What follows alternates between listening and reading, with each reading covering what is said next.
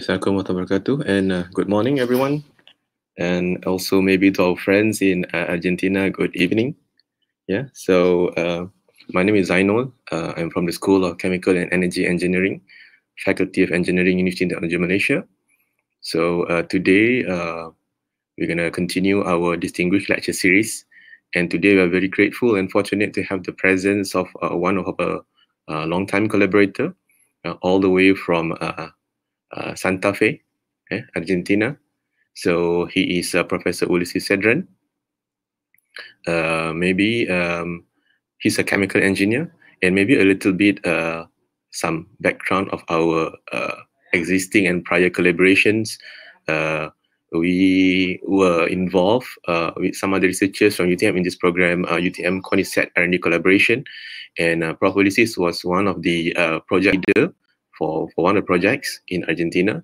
So um, uh, from from from there, we uh, already had uh, some uh, uh, some uh, exchanges of postdoctoral and students to, to, both institutions, and we also had had the opportunity to came out with some publications together.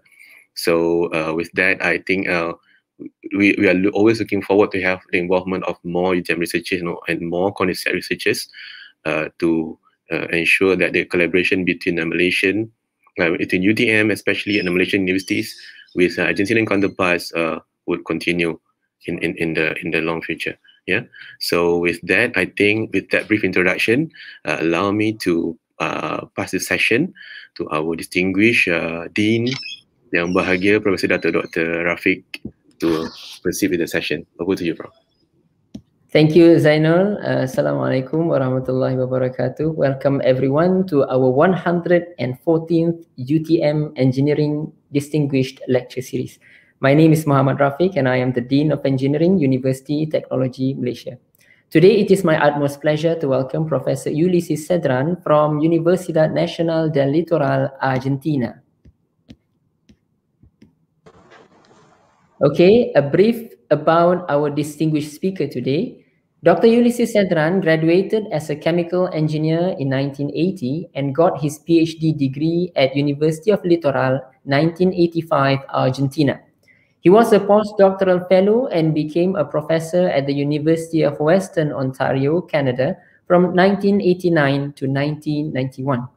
Presently, he is the director of the Institute of Research on Catalysis and Petrochemistry at Santa Fe, Argentina. He is the head of a research group devoted to refining processes, particularly the catalytic cracking of hydrocarbons FCC, the evaluation of commercial catalysts and feedstocks, the environmental impact of processes and products, and the use of non-conventional resources in refining, i.e. waste plastics, biomass, shale, and heavy oils. Since 1987, he is a researcher at CONICET, which is the largest research institution in Argentina, now with the position of superior researcher. He is a full professor at National University of Litoral in the area of chemical reaction engineering. He teaches courses at the graduate and postgraduate levels. He is the advisor of doctorate students and cooperates with companies in the oil refining and petrochemical areas. So that is the brief biography of our distinguished speaker. Here now is Professor Ulises Sedrán from Universidad Nacional del Litoral, Argentina, with a lecture entitled Bio-Oils Co-Processing at Refineries. Professor Ulises Sedrán, over to you. Thank you very much, Professor Rafiq, for your kind invitation to be part of this uh, lecture series. It's certainly a pleasure to be with you today. So, good morning, everybody down there. It's night for us. It's 10 p.m. in my city, in Santa Fe City. So, uh, do I share my screen now? Please uh, let me know how to do that. I'm going to my screen. Excuse me. Is that okay for you?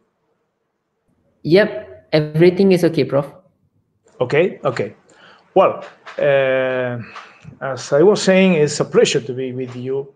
The subject of my lecture is going to be the co-processing of bio-oils at the refineries. We will go into detail during the presentation. As you already know, my name is Ulises Sedrán. I belong to INCAPE, which is the Institute for Research in Catalysis and Petrochemistry.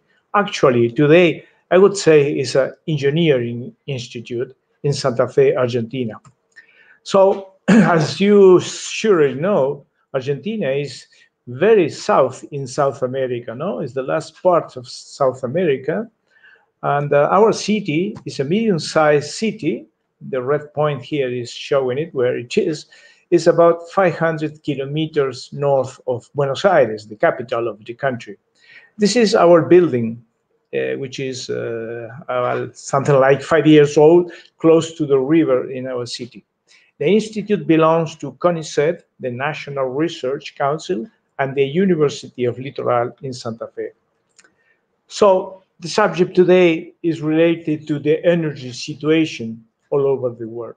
So these uh, photographs, they don't belong to me, of course. They are coming from the International Agency, Energy Agency, where you can find a lot of information about energy and fuels and a lot of deep analysis of the situation. But actually, the situation is of overall concern all over the world.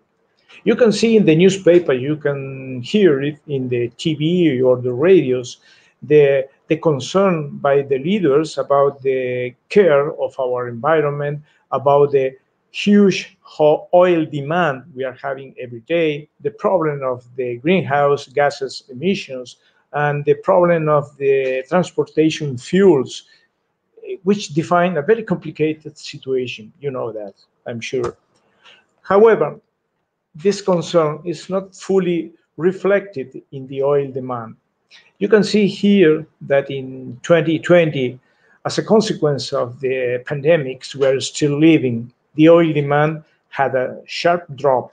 However, the predictions say that it will recover more or less rapid. For example, the blue line is suggesting the, the actual uh, new oil demand along the years. And even in case a delayed recovery scenario is considered, the, the oil demand will recover. These points are the 2019 levels. However, there is a light of uh, hope here because the gas consumption will still be increasing along the years. The oil consumption, the blue line here, is still increasing, but it is expected that the renewable sources for primary energy will increase very sharp in the near future. However, today we are having a huge oil consumption. 98 million barrels per day per day are being con consumed all over the world. That's a lot. That's really, really a problem. However, concerning biomass, which is one of the subjects we're going to review today, uh, if you consider, excuse me, if you consider the uh, consumption of solid biomass liquid biofuels, biogas, or even hydrogen, the situation is the following. This is the actual level of uh, supply. This is the supply expected for 2040 if the stated policies scenario is obeyed. But a better landscape would appear if the sustainable development scenario, mm, this is the key, is applied. And the same is for solid biomass, liquid biofuels, and particular for the case of hydrogen. This is a promising perspective for the next future. So the question for us today is why biomass as an energy source? First of all, because it has been an important source all over the, the, the time, right? But some advantages are quite clear. For example, Vegetal biomass is the only organic carbon sustainable source in our world. The fuels which can be obtained from biomass are the only sustainable liquid fuels. There is usually high availability for biomass. For example, just for, as an example, Latin America could produce about 3.8 million, uh, thousand millions of annual uh, barrels of oil equivalent, which is a lot, certainly. Uh, biomass is typically cheap, usually it's cheap. But moreover, you can use residuals from biomass utilization, which is much better, of course. However, some disadvantages are quite clear as well. Usually, there are severe, severe logistics limitations to obtain biomass in a full scale. The information which is available usually is unsafe, is limited. The prices change significantly according to the location, to the demand, the own biomass. And normally there is a need for preconditioning biomass before use. So these are disadvantages that need to be considered. However, you can see that possible benefits, you can see it easily, are you can obtain chemicals from biomass and in relation to our lecture today, you can get fuels from biomass. Biomass is following cycles in our world. You have biomass growing, you transport that, you collect that to separation processes where you mainly try to find or to obtain food from that biomass. However, all not the biomass can be food. So using that biomass, you can get uh, fuels by means of certain processes. In that case, you can get some energy from that. But once you use the fuels, when, once you consume the fuels, you get a lot of energy there. But these processes are returning back carbon dioxide, water, nutrients to contribute to the growth of biomass. So it's clearly a cycle in nature. If we talk about, about lignocellulosic biomass, we can say that it is the cheapest and most abundant biomass source in the world. Usually there are promotions for the economy associated to this type biomass, and usually it generates opportunities for local jobs, positions everywhere. Uh, we, we, we can consider, in order to produce lignocellulosic biomass, two main routes, two main, main ways. For example, you can use high productivity crops, for example, switchgrass. But you can use residues from the economical activity coming, coming from agriculture, forestry, or industry. And that would be a better option, of course, because we are using residuals from that activity. How can you transform lignocellulosic biomass into fuels? Mainly, there are three processes, three options, I would say. The first one is gasification. Uh, this is a very well-known process. You produce syngas in the gasification. I mean, you produce the mixture of carbon monoxide and hydrogen, which is highly reactive. And then you can convert this synthesis gas into Fischer-Tropsch hydrocarbons, methanol, other chemicals, and other fuels. The second option is hydrolysis. You obtain sugar monomers from lignocellulosic biomass hydrolysis. And then you can obtain ethanol, gasoline, and other fuels from the sugars and the associated intermediates in the processes. However, today we want to talk about pyrolysis. By means of pyrolysis, you obtain bio oils. And those bio oils can be converted or upgraded into transportation fuels or co-processed. That's the, the, the, the idea for today's talk. So once you have the lignocellulosic biomass, which is composed by cellulose, hemicellulose, and lignin in different proportions, of course, if you subject this biomass to pyrolysis, you can get a lot of products. More than 400 compounds are the result of pyrolysis on biomass. Acid and esters, aldehydes, ketones, furans, cyclic ketones, alcohols, sugars are coming from cellulose and hemicellulose, while phenolic ethers and alkylated phenols are coming from lignin after pyrolysis. The process is quite simple. You use a high thermal level, a high temperature, and by means of that, you produce the decomposition of biomass when no oxygen is present. If not, you can get combustion, of course. So after this process, you get gases, liquids, and solid products. The liquid products are particularly composed by a complex mixture of oxygenated compounds. And you can separate two phases from those products. One is the bio oil, which is uh, water soluble fraction, and the other one is tar, a more viscous, heavy fraction, which is water insoluble. Usual, usually, we call bio oil to the uh, aqueous phase, but some people call bio oil to the whole liquid phase obtained by pyrolysis of biomass. Biomass are very different, very different, of course. It depends on which one you are selecting. So just as a small example, in this case, there is the composition of pine wood, mesquite wood, which is a tree used for the production of furniture, or wet shell as well. So you can see the, the difference there. And in our work with uh, biomass, with pyrolysis of biomass, we use a lot of them, always trying to be receipts from any activity, particularly commercial activities, agriculture. For example, pine wood, mesquite wood, alamo wood, wet shell, soybean shell, many different grasses, chañar, which in our country is a very invasive species, that's a problem, and also, we also studied the, uh, the, the, the, pyrolysis of wastes from palm oil production. This is in cooperation with UTM along a couple of years at least. But we also try cow manure. This is biomass as well, you know, and many others. The pyrolysis is a process, I would say, it's a simple process, which is well proven, which is well established, the biomass is subjected to a high temperature without oxygen, then you can produce gases, liquids, and solids. And the operation mode will condition the, the, the, products. I mean, depending on the temperature, depending on the heating rate and the oxygen concentration, you can get more liquid, more gases, or more solids. That depends on you. But the process itself is quite simple.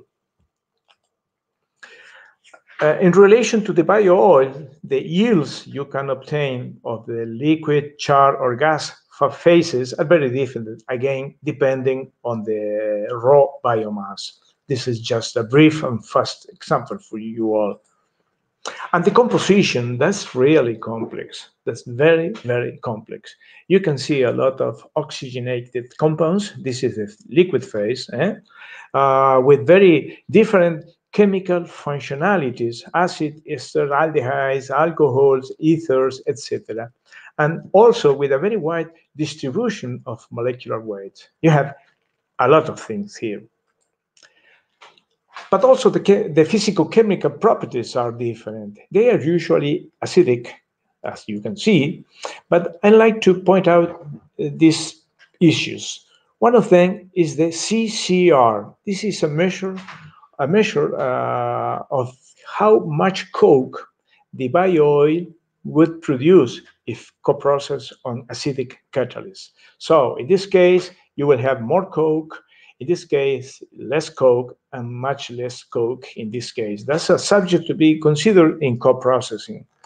Uh, the composition is very different, of course, and the other issue I like to point out is the effective hydrogen index which is a measure of how easy it is to crack that bio oil. So you can see it changes with the raw biomass, of course. So the idea is let's co-process bio at refinery. Is that possible? Yes, it is possible. But the refinery is a very, very complex world. It's like kind of, you can consider this kind of black box where you enter a single raw material, which is crude oil, you have a lot of processes, very complex and interrelated processes inside the refinery, and you get a lot of products from the refinery. Maybe most important ones, but not the only ones, are fuels. So inside the processes in the refinery, those which are cracking processes, that is, are taking uh, loads, hydrocarbon cuts, which have uh, low value, which have very high molecular weight components inside, which are not useful for other things. But if you crack those molecule, molecules, you can get very useful products. So the cracking products are very important in the refinery. They are central in the refinery. Um, I like to point these cracking products, but also thermal processes such as visbreaking or coking look as uh, proper to co-process bio-oils. That's the issue of a study. The main idea is that these processes are existing, are consolidated.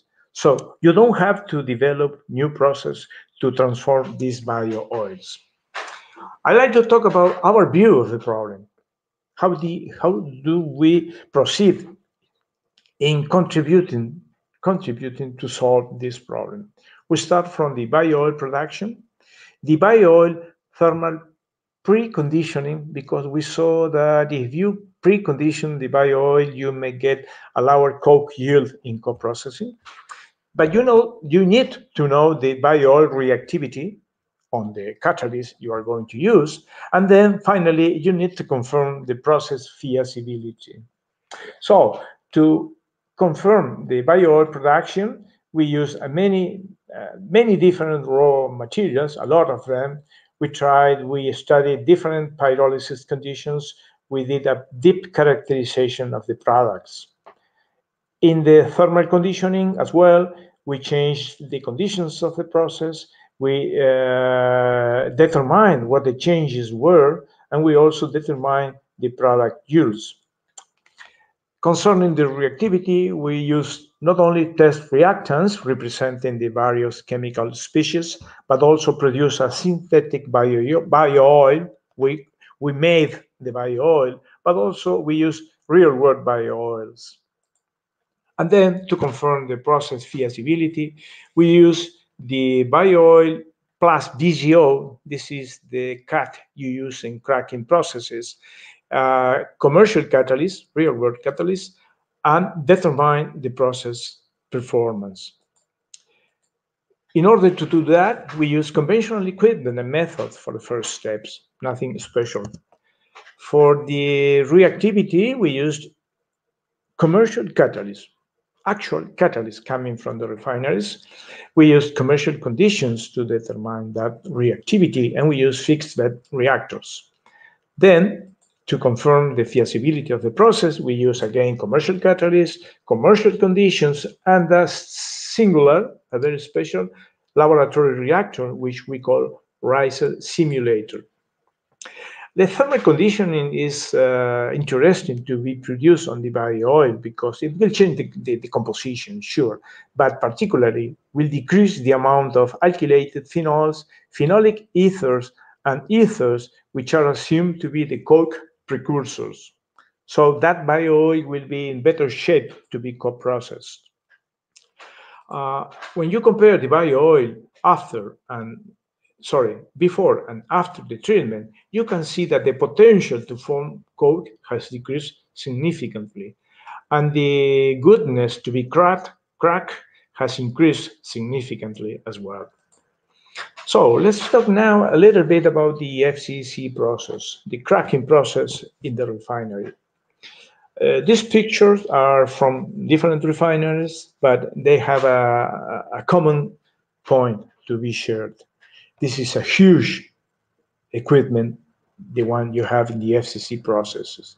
This is the reactor. This is a long tube, about 25 meters long. This tube is very, very long and the regenerator, which is this unit or this unit, is about 9 to 10 meters in diameter. So you can imagine these are huge units in the refinery. And the amount of catalyst they use is very important as well. It depends on the size of the unit, but units using 200 tons of catalyst are not uh, difficult to be found in the refineries. So in a simplified way, the riser reactor, the long reactor I was mentioning, is receiving the VGO feedstock, which is typically preheated, and is facing the catalyst coming from the regenerator.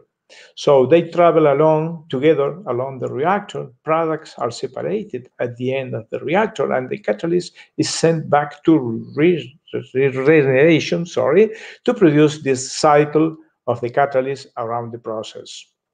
So the idea is to add bio oil to the VGO. And I want to, to point out this issue, the heat balance of the units. This is a crucial, a crucial issue. in the FCC unit because the reactions going on here are endothermic and the combustion of the coke here is exothermic. So this heat is transported into the reactor and will maintain the cracking reactions. And this is a very, very delicate heat balance. You need to preserve the balance. So the units are very high, very large, sorry, but in order to show how uh, modifications work, for example, this is a demonstration unit in Brazil which only uses 200 kilograms per hour, but it, it is still a lot for laboratories, right? So our idea, our, uh, our approach to this is, let's take the riser reactor, this one, 25, 30 meters long, and try to see how we can reproduce this in the lab. Actually, this is impossible because the dimensions I was describing, but the approach is this. Let's take an ideal riser in the refinery and let's take a, control volume, a small control volume in the basis of the reactor and put this volume inside a laboratory reactor, a small reactor, where the catalyst is uh, trapped between two porous metal plates and the turbine is rotating at very high speed, so moving gases in this direction and fluidizing the catalyst in the same way which is here. I forgot to say this is a fluidized bed reactor, a diluted fluidized bed transport reactor. So the analogy we establish is this is position zero let's say this is time zero. So we're talking about an equivalence between the position at the time evolving in the laboratory. So when the mixture of catalysts and reactants travel along the reactor, that movement would be the same as the time evolution in the laboratory. This travel along the reactor would be equivalent to the uh, time evolution in the laboratory.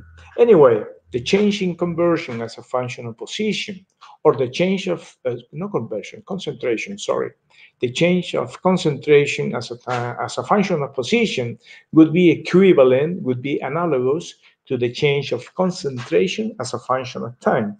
In both cases, this is due to the chemical reaction taking place.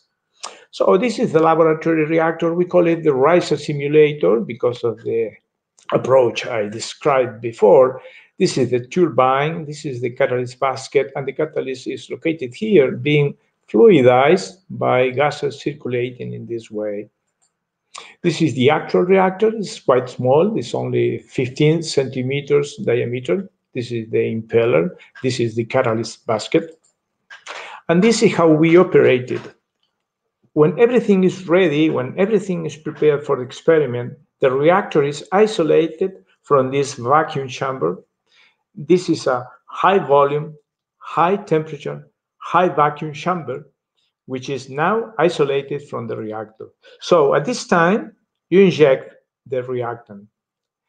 The reactant, once is facing the catalyst and the, the, the reactor, which is very hot, will vaporize immediately.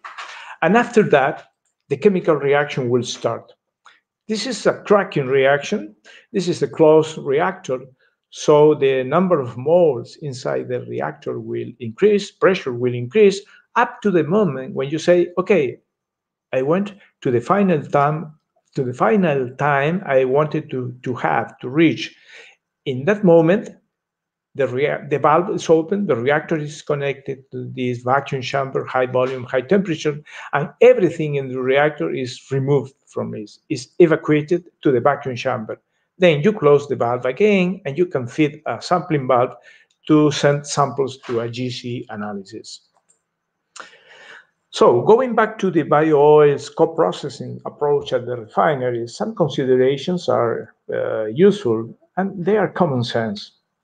I mentioned the concern about the substitution of fossil fuels for more sustainable sources. Uh, biomass, lignocellulosic biomass, could be used in biorefinery platforms. And bio-oils inside those platforms are a very interesting platform once again. Liquids you can obtain from the pyrolysis of this biomass after simple technologies can be further upgraded or co-processed in existing units.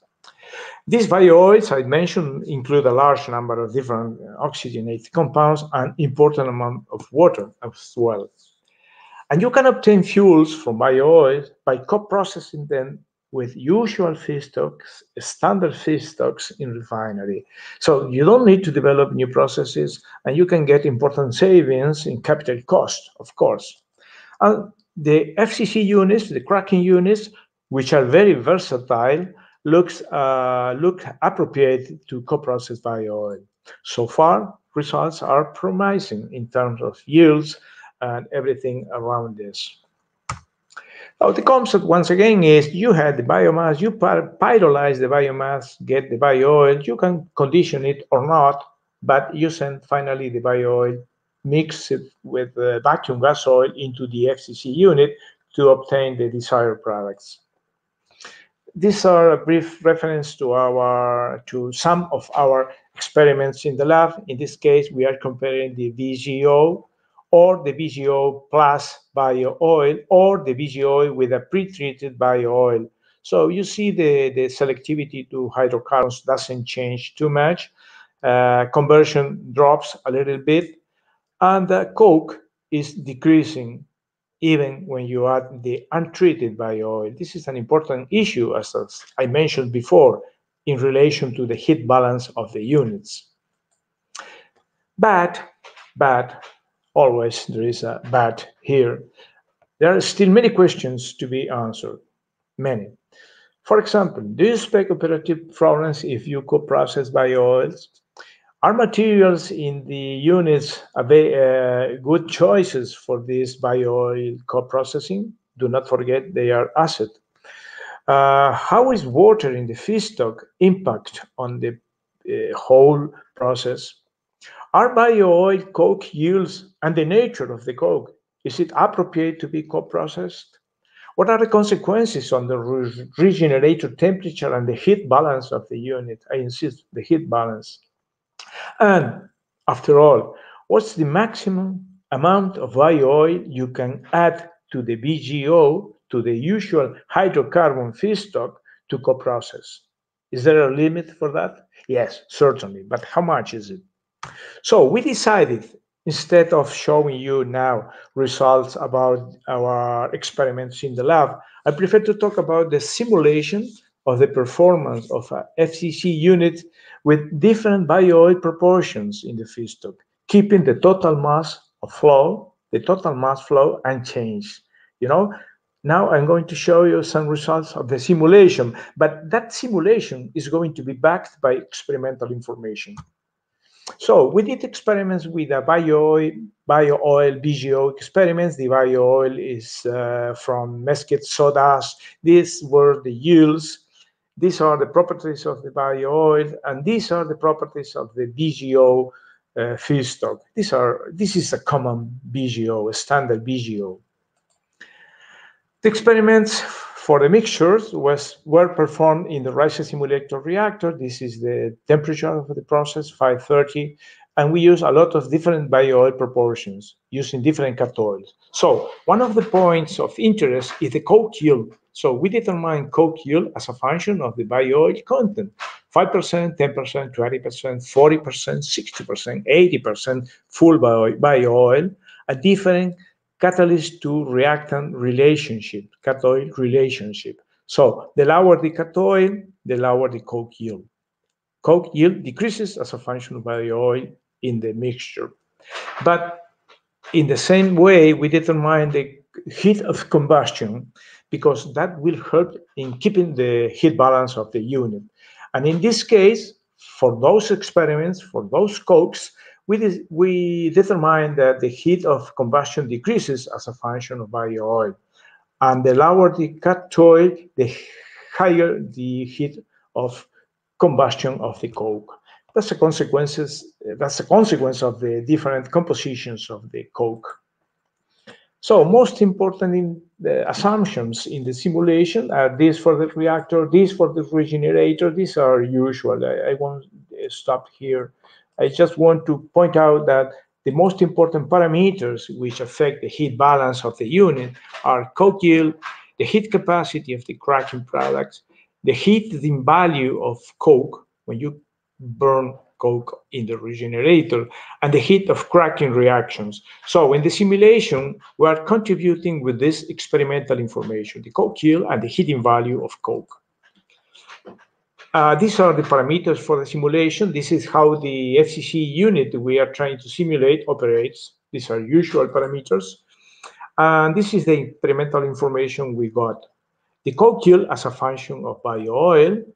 These are the yields. And these are the combustion heat. They're here shown in a relative way. So when you only have VGO, we said it is one, and then what's the experimental value for the other mixtures. The definition of the simulation is this. We want to keep the riser temperature, the temperature in the reactor constant. In order to do that, you can keep the cat oil constant, the relationship between catalyst and reactant constant, and then you will change the preheating temperature as a function of bio-oil content. Or you can keep constant preheating temperature and you can change the cat oil. This is the usual way the units are operated. If you have changes, you will change the circulation of catalyst in the unit. But, but I want to point out this quite clearly. This is not a control move. We are not trying to cancel a perturbation in the operation of the unit or a response to a change in a set point. But this is a modification, strong modification, defining a new operative condition in the unit because you are changing significantly the feedstock. So we follow both approaches. Unfortunately, the heat of bio-oil cracking is not reported in the literature. You cannot find that in the literature. You can find some information for model compounds. They are slightly endothermic, or in, in some cases, they're even exothermic. Then we assume different scenarios from A to E, assuming that, for example, the heat of bio-oil cracking would be the same as pure VGO, Mm, certainly it will not. Then we assume different values.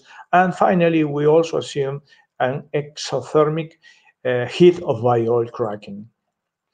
And these are the results for the first approach, constant catalyst to oil. This is the case for 95% by VGO, 5% by oil. This is quite realistic, no? You know, so uh, when you use different heats of bio-oil cracking, you will have different results. And you can see in this case how the temperature, the preheating temperature changes. Not too much in this case. You're using just a little bit by, bio-oil. So when you co-process bio-oil, the yield of coke will be lower and the heating values are lower as well. So you will have a lower amount available of combustion heat and the temperature in the regenerator unit will decrease. Most importantly, the heat that the regenerated catalyst is carrying to the feedstock will decrease when the proportion of bio-oil in the mixture increases. And the changes could be not too large in the case of 5% uh, bio-oil, 5% by oil, only 3 degrees C, the change in the preheating temperature, but can increase, for example, up to 13 degrees C when you uh, have 20% by oil. And that's an important number because when you increase the preheating temperature, you increase your cost, your operation cost. So here we're showing the amount of extra energy you need to add to the system when you increase the concentration of bio-oil. And this needs, this means, sorry, this means money. Uh, even when the feedstock is including 40% oil, in that case, the catalyst coming from the regenerator will not provide the amount of energy you need. You won't be able to have the energy you need to, man, to sustain the operation, independently of the heat of cracking bio-oil you are assuming. And moreover, the VGO should be heated to very high temperatures, and that's a mess because you will have thermal cracking of bio, the VGO, VGO, and you will have coke deposition all over the unit, and that's a very important problem. So as a first conclusion for this simulation, you can see clear, important heat balance limitations. The second approach was to keep const a constant preheating temperature. In order to do that, you will change the cat oil. But if you do that, you will change the yield of coke. So the simulation will tell you what's the cat oil to obtain the yield of coke you need to maintain the same temperature of preheating VGO. However, when you represent the yield of coke as a function of cat oil for different bio oil contents, you will see it's supposed to depend on the heat of bio oil cracking, you assume, but you see it doesn't change a lot. All the situations are in the same line, essentially. And this is the prediction by the model. However, these points are the experimental evidence. So this line, this dotted line, is the true yield coke you will have. And this is coming from the simulation. So the intersection of these lines will tell you what the actual cat oil ratio should be. And we are operating at six to seven, something like that. And then you have to go to 10, which is a very high cat oil. And this is only for the case of 5% bio oil. When you go to 10% bio oil, in that case, you don't have an intersection be between the predictions and the experimental evidence. So this situation couldn't be solved in the refinery. The second conclusion, together with the first one, would show that for the uh, co-processings of bio oil, which are which is certainly possible, you had to be very careful. You had to be very careful. You cannot process co-process bio oil and VGO in a blindly way. You have to be very, very careful about that. Anyway, anyway, you can add much more, a lot of more uh, experimental information. But here we are comparing the simulation, which is quite powerful, with the experimental information, and we feel very confident about that. So the message is be careful about this. You can process them, but up to a limit. So that's everything, everything I wanted to tell you today. Thank you very much for your attention. And certainly I open to any question or, or doubt you still have. You have my contact uh, information there. I'm open and willing to share with you everything you need. Okay, thank you very much for the for the very uh, enlightening talk, Professor Ulises. Thank you. Um, so uh, to take questions now, may, uh, maybe if I can ask you to uh, close your PowerPoint. Okay. That we can uh, read out the question if there's any from uh, from our viewers in FB page. Okay. So the organizer, do we have any questions from our viewers maybe? okay. So uh, while waiting for the questions to uh, appear there, uh, uh, this very uh, actually uh, uh, insightful uh, session that you uh, show here, bro. Because uh, all this while we we we, we think uh, it's not we think we have this idea that uh, uh, bio oil, the introduction of bio oil in uh, heating up some unit operation uh, in uh, factory or something can uh, immediately cover the or reduce the operating costs.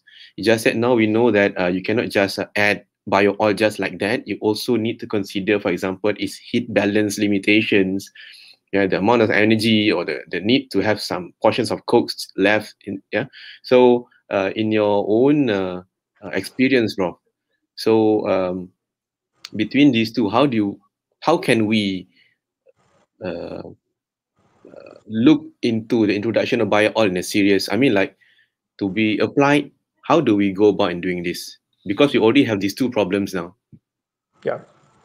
So far, the experimental information which has been published all over the world is quite promising, I said. So uh, you can expect good results from co-processing bio oils into the refinery. I think, I believe the most uh, proper process is, is FCC. You still have some other processes, but I believe FCC, which is very versatile, is the most uh, proper for this. So before, I mean, no refinery in the world would be willing to add directly bio-oil to its uh, process. Not directly, without having previous information, uh, previous analysis of that. But I, I try to show you that it is possible to produce that information, particularly if you combine experimental results in the lab and simulation of the units, uh, actually, this simulation is quite simple. It was performed just in our computers, but uh, commercial simulations are very powerful tools to which you can add experimental information, you know, from the lab. Yeah. And depending in, in the way you get that information, you can feel more confident or not about the validity, how useful that information from the lab is. We feel very confident about that. All right, bro. It means uh, it's very uh, imperative to have uh, a good feasibility studies first, yeah, before we try to venture into any commercialization efforts. So, Prof, we have one question here by uh, our Professor Muhammad Afifi. He's our ex-staff from UTM.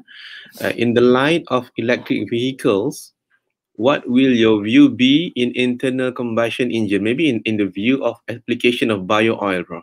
Because now we have the electric vehicles coming out. Yeah, sure. You are you can see all over the world that electric vehicles are uh, becoming more and more important day after day. Certainly, it will be an important uh, option in the near future. However, when you talk to people in the oil refining industry, in the oil industry, I would say, as you know, this is a very powerful economic activity all over the world companies are very, very powerful, and they have not only economic power but uh, political power as well. Actually, uh, a number of wars have been uh, occurring all over the world because of this. but you can't stop the uh, the increased number of uh, electrical vehicles. When you talk, I was saying to oil companies, they say that for the next four decades, next four decades, they will still run, be running the business, their business. So electrical vehicles will uh, uh, be in, uh, more and more important, but it will take a certain time. Moreover, you need to produce electricity to move those vehicles. And that can uh, mean uh, an environment care concern about how you produce that electricity. That's a discussion which is not solved still hmm, for these days. So an interesting option will take a certain time to be completed and uh, the, the, the, issue of how you generate electricity still has to be solved. Of course, you have very good options to do that, yes. Yeah.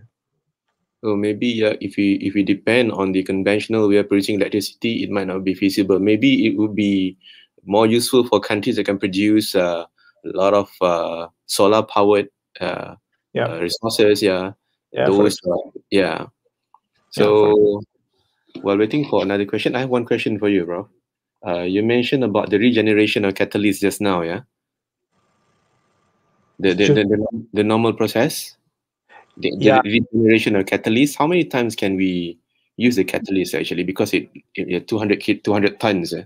yeah yeah you have 200 tons there but the particles are very small these yeah. are 70 microns in the average uh, that's the particle size so the particles are continuously circulating between the different units no? between the riser reactor and the regenerator that will be produced that will produce uh, that the particles will, will face a very different environment in the reactor where you have hydrogen, for example, and 500 degrees C, 500, 520 degrees C. And then the particles will go to the regenerator when you have a much, much higher temperature, 700 degrees C plus steam, plus steam. So okay. the particles we suffer will be severely affected by that conditions. So once they start cycling around the unit, uh, they will be damaged. So every day you need to replace a part of those particles, typically 1%, two tons, two tons a day have to be replaced. Plus, you need cyclones to separate products and the particles. And those cyclones, of course, are not 100% efficient. So you will have a loss there. finally, overall, overall, you need to replace about 1% of the total inventory in the unit, which means a very important amount. So you will have very different ages in the catalyst in the units. Some of them are fresh, some of them are very, very old. In the average, you have the equilibrium catalyst. I see. Okay, uh, maybe uh, because uh, we had still have like uh, seven to eight minutes left, bro. Maybe one one last questions from me uh, while waiting for other questions from our viewers. Uh, for your bio oil, bro, do, do you do any fractionation for your bio oil? Maybe just to get some fraction for different applications, maybe. We are we're trying to separate uh, valuable products from the bio oils.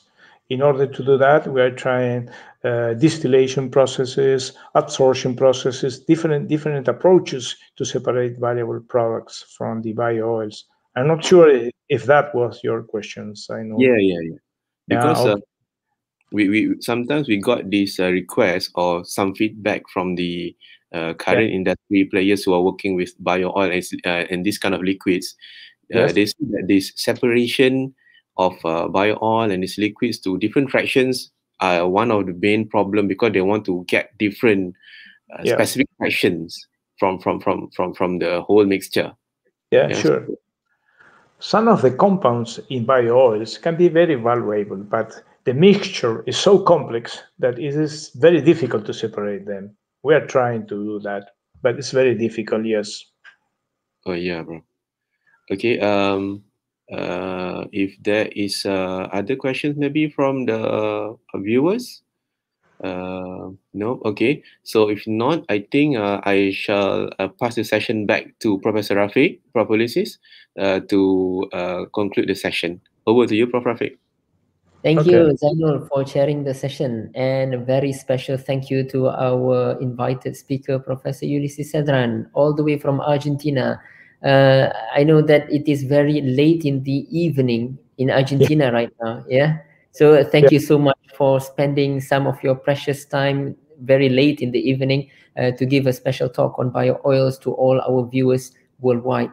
So again, thank you so much to you. And then uh, to all our viewers worldwide who is currently watching UTM Engineering Distinguished Lecture Series, thank you so much for watching. Do stay tuned because we have many more interesting lectures for you. Until next time, bye-bye for now. Okay, Professor Rafik, uh, it was certainly a pleasure for me to share this moment with you all. Uh, certainly a pleasure. Thank you very much for the invitation. Thank you. Thank you very much. Thank you, everyone. Bye-bye. Bye. Good night. Bye bye. Good Good night. morning. Okay.